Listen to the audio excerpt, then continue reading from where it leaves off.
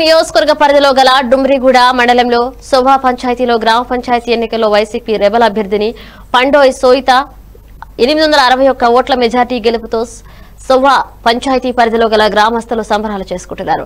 తాజా సర్పంచ్ సోయిత గ్రామ పంచాయతీ ఎన్నికల్లో వైసీపీ తరపు నుంచి పోటీ చేయాలని ఆశించారు.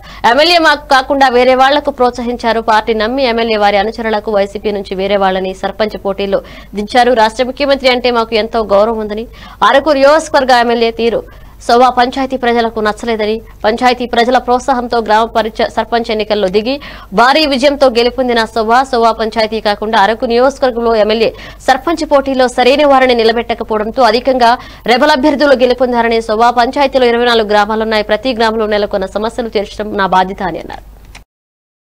శోభ పంచాయతీలో నేను రెబల్ అభ్యర్థిగా పోటీ చేశాను.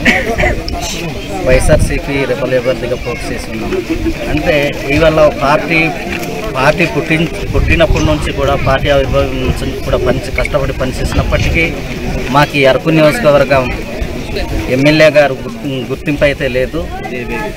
బా- ఆయన ఇచ్చినటువంటి టికెట్ కేటాయించినటువంటి అభ్యర్థికి మేము చిత్తచిత్తుగా ఓడిపించడం జరిగింది. అయితే మధ్యలో తెలుగుదేశంలో పనిచేస్తున్నటువంటి వాళ్ళకి తీసుకొచ్చి పార్టీలో జాయినింగ్లు చేసి వెంట వెంటనే టికెట్లు ఇచ్చినటువంటి పరిస్థితుల్లో కూడా మాకు ఎంత హెరాస్మెంట్ చేసినప్పటికీ కూడా మేము చాలా కష్టపడి జగన్మోహన్ రెడ్డి నాయకత్వంలో పనిచేస్తూ ఇవాళ ఈ ఈ గెలుపుకు కారణం ప్రజలు. కాబట్టి ఏంటంటే ఇటువంటి వాతావరణంలో ఇటువంటి వాతావరణం జరగకూడదు. భవిష్యత్తులో వైఎస్ఆర్సీపీ గట్టిపడాలంటే ఎమ్మెల్యే గారు ఆలోచనలు మారాలా?